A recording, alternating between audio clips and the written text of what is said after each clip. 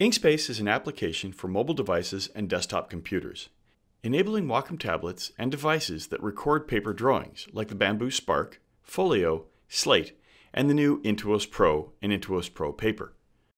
With the Paper Accessory Kit, Inkspace is available for free from within Wacom Desktop Center. By selecting a device on the left, under Software, select Install Wacom Inkspace app. The first time Inkspace launches, select Let's Get Started. First, it will ask to connect the device. Confirm the Intuos Pro tablet is plugged in, then choose the orientation of the tablet used most frequently for drawing offline or on paper. Select Next.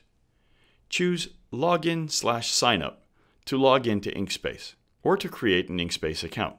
When logged into an Inkspace account, any drawings synced to Inkspace will instantly be available to any device that has the Inkspace app and is logged in to the same account. The guide then illustrates how to properly attach the clip. Initiate paper drawing by touching the ink pen to the paper.